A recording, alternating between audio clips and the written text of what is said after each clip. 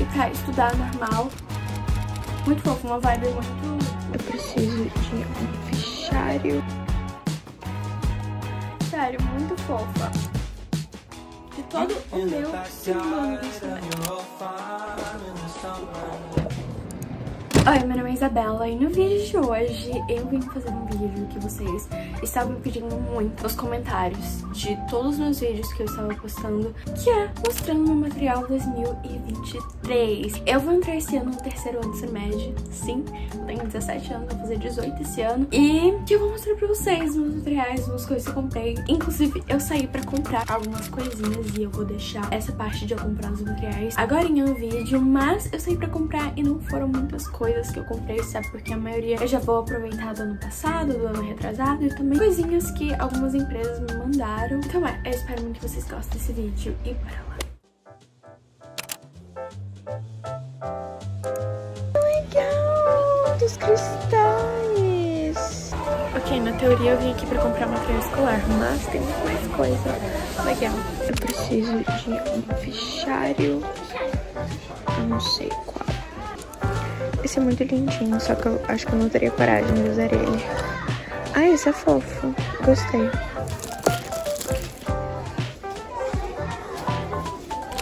Eu acho que eu vou levar esse. Tipo, ele é fininho, mas aí eu vou ficar tirando as folhas e colocando em outro fichário pra separar os dois. Eu acho que vai servir. O melhor, esse aqui é mais fácil.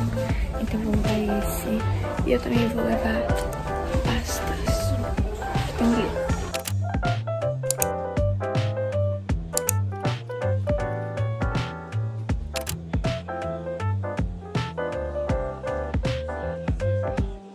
Olha esse caderno, gente. Ele é a própria maravilhosidade. Eu tô quase levando ele, mesmo não precisando de caderno. E olha isso. Olha essa capa. Eu levaria todos desses. Todos. Ali tem mais. Ah, que lindos. Tem mais. Nunca acaba. Que lindo. Eu queria ver se eu achava desse aqui pequenininho, mas não tem. Só tem esse. Que legal, o celular tá apoiado em um livro, tá escrito ganho músculos. Não tem lugar pra apoiar o celular, então vai ter que ser aqui.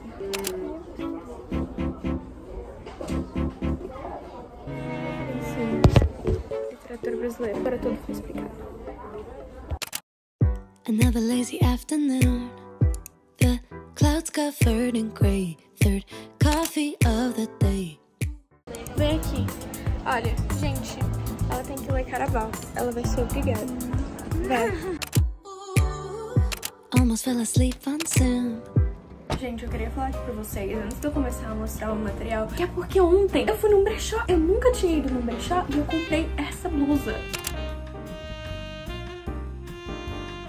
Eu achei esse, parece ser muito lindo. Achei ela linda, porque, tipo, eu já tava querendo há muito tempo, e eu achei isso aqui lá, e tava, tipo, 63 reais. Eu falei, agora é meu momento.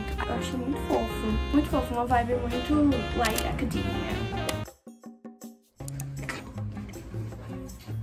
Ok, vamos começar aqui pelo mais básico possível, que é o meu fichário. Comprei esse grandão aqui.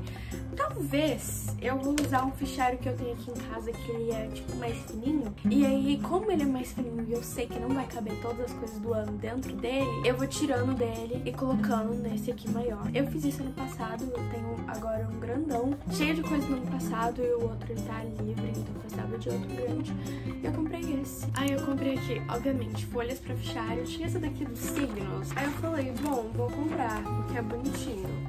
Uma coisa, eu prefiro mil vezes linhas pretas, gente. Eu não compro folhas de fichário com linha azul. Não sei porquê, mas eu acho que linhas pretas ficam mais bonitas, mais organizadas. Sem falar que eu também, tipo, não gosto de escrever no meu caderno com caneta azul. Eu sempre escrevo com caneta preta e caneta coloridinha. Porque eu não sei, gente, eu só não gosto muito de escrever com caneta azul. E outra coisa que comprei foi umas folhas quadriculadas. Eu comprei ele porque eu gosto de usar essas folhas quadriculadas na real pra fazer cartinha pras pessoas. Enfim, bem útil também. Uma coisa que eu queria muito muito era achar folha de fichário quadriculada. Porque, principalmente pra matérias tipo matemática, onde precisa fazer vários desenhos com a geometria, ia ser muito mais fácil pra mim se eu tivesse folha de fichário quadriculada. Porque a única coisa que tinha quadriculada lá era um caderno, mas o caderno era daquele as azuis, sabe? De brochura, que não tem nada de interessante. Aí eu falei, bom, não quero. E aí tinha esse daqui, mas eu vi que não dá pra colocar em fichário, já que isso daqui eu acho que era outro tipo de caderno. Não faço a mínima ideia, eu só gostei do jeito que a folha é, cheia de quadradinhos. Agora, outra coisa que é, tipo assim, o que eu achei mais interessante, gente, porque eu entrei dentro daquela livraria e eu me apaixonei por esse caderno aqui. Sério, gente, olha isso! Que coisa linda, cheia de bichinhos. Aqui, eu, eu achei maravilhoso. Dá um vibe. Inclusive, eu tava lá com a minha irmã pra ela comprar os materiais dela, porque ela tem 12 anos. E aí ela precisa, né, de caderno pra escola. Que eu perguntei pra ela por que, que ela não pegou, tipo, a coleção inteira desses animaizinhos. Porque se fosse eu, eu teria pegado. Mas aí eu vi esse caderno, não pude me conter. Não pude me conter na hora que eu vi isso daqui. Pra guardar folhas, tá escrito Take a Deep Breath. Aqui tá escrito You're Strong, as motivacionais. E aqui tem mais figurinhas. Eu não sabia pra que, que eu ia usar esse caderno aqui até ontem. Quando eu me deparei com este caderno aqui, que eu usei ano passado, que é basicamente um caderno de resumos do ano inteiro. Aqui eu tenho um resumo de todo o meu segundo ano do ensino médio. Eu também uso esse caderno pra anotar algumas coisas que os professores falam na sala de aula. Então eu pensei em usar este daqui pra fazer a mesma coisa, pra fazer anotação e resumo. E ele é bem mais fininho, ele tem tipo 80 folhas, esse daqui tem 160 folhas, ou seja, o dobro. Mas como ele é maior, eu presumo que vai caber mais coisas aqui e eu vou fazer as divisórias dele assim bonitinhas, sabe? Eu vou colocar alguns post-its divisórias aqui pra dividir. A próxima coisa que eu comprei não é muito interessante, mas enfim, no passado eu usava aquelas pastas sanfonadas, sabe? Que é muito legal se você realmente tiver uma organização nelas. Mas eu não tinha nenhuma organização, então esse ano eu acho que eu vou usar, tipo, só essa pasta aqui gigantesca pra guardar minhas coisas. E aí eu vou pegar esses clips aqui que eu tenho. Nossa, já tem muito tempo que eu tenho esses clips. E aí, tipo, eu uso pra colocar as matérias junto. Eu acho que vai ficar legal. Temos aqui é, isso daqui aqui, que é tipo um planner semanal, que eu já tenho faz bastante tempo, minha tia me deu.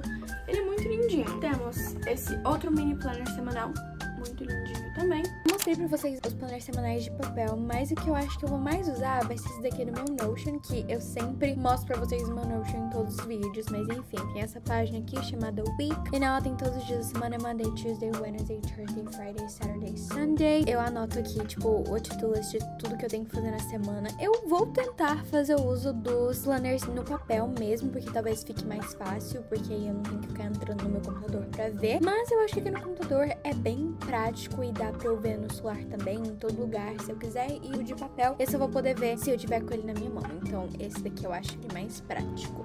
Outras coisas que eu tenho aqui são vários post-its. Eu tenho mais, na real, mas esses daqui são os que davam mais cheinhos. Aí eu peguei pra mostrar pra vocês, porque eu basicamente só faço resumo em post-it. Eu preciso realmente de bastante, então tenho de todos os tamanhos, desse grande, desse médio, desse pequeno. Enfim, muito lindos. Outra coisa que eu tenho, que eu vou usar muito, que eu sempre uso pra, tipo, marcar em livro, mas que pra fazer divisórias também, nesse caderno aqui, ó, e pra estudar normal, são esses post-its aqui, dessas coisinhas pastéis e dessas cores mais terrosas, assim. Eu sei que vão me perguntar, e a resposta é onde eu comprei isso daqui. Foi na Stationer Paul, que eu recebi deles, né, que sempre que eles me pedem pra eu, tipo, escolher coisas pra eles me mandarem, eu sempre escolho esses post-its, porque, sério, são incríveis e, tipo, ficam tão bonitinhos no papel, Agora vamos para o meu estojo, que é esse daqui, que tem essas cheias desses, como chama, chaveirinhos. Eu tenho esse daqui da Disney, tem esse de Paris aqui e um macaquinho aqui. Então esse é meu estojo. E abrindo aqui, eu vou mostrar assim pra vocês, tá um pouco difícil de ver, tá? Mas depois eu vou gravar, tipo, outro ângulo pra ficar mais fácil de vocês verem. Aqui em cima eu tenho essas canetas aqui coloridas, que são tipo canetinhas só que de ponta fina. E são incríveis, maravilhosas. Tudo que tem aqui no meu estúdio basicamente da Stationery Pop. Essa caneta aqui, que ela é preta, porque como eu disse, todas as canetas que eu tenho são pretas, mas ela é de gel e ela tem esse coraçãozinho muito fofo. Tem essa outra aqui também é de gel. E aqui embaixo tem estes marca-textos. Agora abrindo essa parte aqui de baixo, que vai ser bem mais difícil de mostrar pra vocês o que tem nela. Mas eu tenho esse estojinho aqui. Ele é muito fofo, ele é cheio de flor florzinha. Mas aqui nele eu guardo umas canetas de gel que eu sempre uso pra fazer resumo. No meu fichário, cada matéria eu escolho pra ser uma cor. É assim que eu faço a divisória, eu preciso de canetas coloridinhas pra cada matéria. Temos aqui também uma régua, essa régua é linda. florzinhas, uma borracha preta. Eu tenho uma tesoura, que essa tesoura é a melhor tesoura da vida. Essa caneta aqui, que ela é de brush. Essa outra caneta aqui de brush. Essa caneta aqui de glitter de gel. Tudo preto, pra vocês verem que eu só uso caneta preta. Essa outra caneta de gel também. Essa caneta Bic aqui normal pra eu poder fazer prova, porque eu não quero gastar minhas canetas de gel pra fazer prova. Essa outra caneta aqui também é de gel e ela tem, tipo, umas florzinhas, gente. Sério, muito fofa. E essa cola aqui, só que é uma cola em embalagem parecendo de corretivo, mas é uma cola. Essa lapiseira e esse corretivo. Essa outra caneta preta, porque, tipo, cinco canetas pretas não são bastante. E tem esse marca-texto, que ele é o marca-texto mais lindo da história dos marca-textos, porque ele tem glitter. Olha isso. Ele realmente sai no papel com glitter. Eu tenho esse negocinho aqui de juntar folha, esse tanto de mini post-its, uma lixa de unha. Eu sempre acontece alguma coisa com a minha mãe no meio da aula e fica me incomodando. E aí eu botei uma lixa aqui logo. E isso é tudo que tem dentro do meu estojo, mas fora do meu estojo hoje, também tenho essas canetinhas aqui. Eu achei que eram canetas normais também.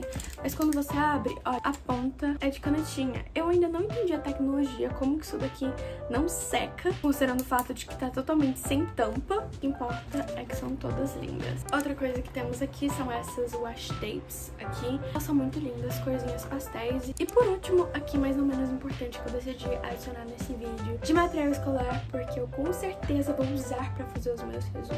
Essa mini impressora da Fomemo, que eu já mostrei em um vídeo pra vocês. Ela é simplesmente maravilhosa. E ela é uma impressora térmica e ela imprime por Bluetooth, ou seja, você pega seu celular, decide que você quer que ela imprima, e ela imprime em um papel autocolante. Imprimir aquelas imagens que os professores, principalmente de biologia, passam pra gente desenhar. Vai ser incrível, porque agora o meu caderno vai ficar lindo, maravilhoso. Eu amei, vai ser extremamente útil usar essa impressora nos meus resumos. E uma coisa, gente, que eu não mostrei no vídeo, mas que eu vou comprar, já tá no meu carrinho do Mercado Livre é essas garrafinhas de água aqui de 2 litros, eu acho. Elas são muito bonitinhas, elas vêm tipo com uns botãozinhos pra você colar nelas e elas são todas coloridas e vem com frases motivacionais. Eu falei disso no vídeo que eu mostrei minhas metas pra 2023, eu realmente preciso beber mais água. E outra coisa também que eu vou comprar, mas que ainda não comprei, é uma mochila dessa daqui da Vans, porque a mochila de voar pra escola que eu uso, ela primeiro era da minha tia, depois virou da minha avó, e a minha avó me deu. Tipo, é da Kipling, tá boa, mas ela era dourada e ela já tá ficando, tipo, verde. Então, é, eu vou trocar de mochila.